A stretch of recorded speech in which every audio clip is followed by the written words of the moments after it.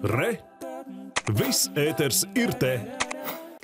Viņš mums dāvājas daudz prieka, jo ļoti mīlēja dzīvi. Aktieris, kur gaidīja un pavadīja ar aplausiem un smaidiem, bieži arī ar smiekliem. Komiķis, raksturotājs, bet arī dramatisku lomu meistars. 82 gadu vecumā Leons Krivāns no aizvērs savas dzīves priekškaru un tautā iemīļoto aktieru atceras Andrejs Volmārs. Šeit Leons Krivāns ar saviem Dailas teātra trešā aktieru kursa kolēģiem pēc 40 gadiem.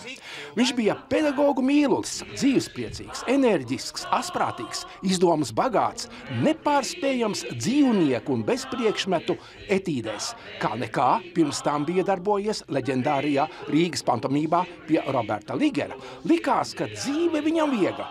Tikai retais zināja, ka viņš izaudzis bez tēva, mīlošas mātes aprūpēts. Tēvs bija izsūtīts uz Sibīriju. Pēc tam abi uzcēla māju purciemā. Rokas viņam vienmēr bijušas sastrādātas. Protams, Leons Krivāns bija komēdijas aktieris. Spilgts, attraktīvs, pārsteidzošs. Dailas teātra izrādēs, Rīgas kinostudijas komēdijās, Latvijas televīzijā. Neaizmirstams ir viņa Frīdis satīrisko raidījumu ciklā televīzijas pirts. Ienākot viņam veikalā, pārdevējs baidījušās, ka nu tiks nokritizētas televīzijas pirtī. Saukušas, ejiet prom, ejiet prom, mums visi kārtībā. Kur viņš, tur smiekli bija garantēti.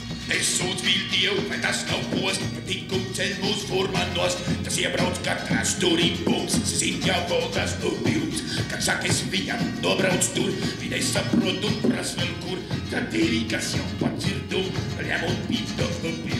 Ai, ai, ai, ai, la, la, la. Viņam un pīp to upju. Ai, ai, ai, ai. La, la, la.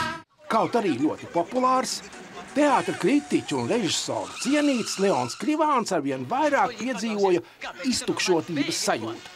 No viņa visi gaidīja tik jokus. Nebūžam! Par man nevajag smieties. Pirms smēties par mani, vajag kaut cik iepazīt.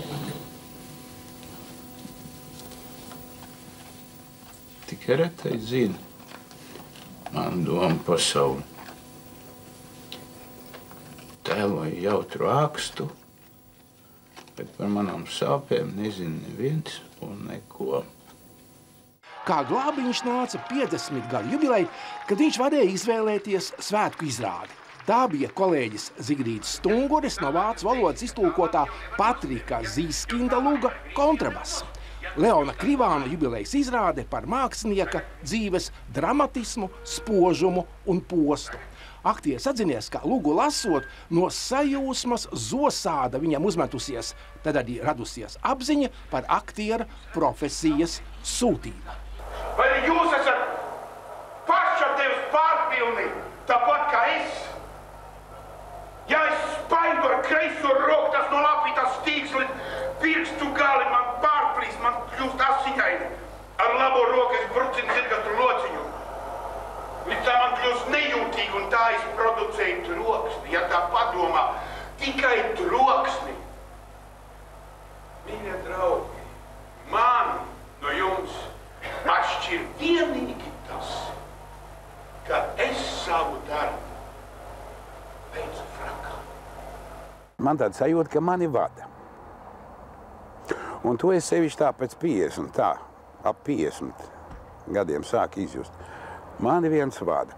Un viss it kā notiek tā, kā tam jānotiek. Ja es dabūnu kaut kur pa purniņu, ja, es neuztraucos par to vairāk. Es zinu, ka es to esmu pelnījis. Ja man kaut kā pavēršās, teiksim, nu, nu, ir kaut kāda problēma, tad viņi jāatrisina. Nu, pieņems, nu, kaut kas tad, tad. Tā, un tad pēkšņi viņi atrisinās. Nav otrā dienā ir pilnīgi viss skaidrs.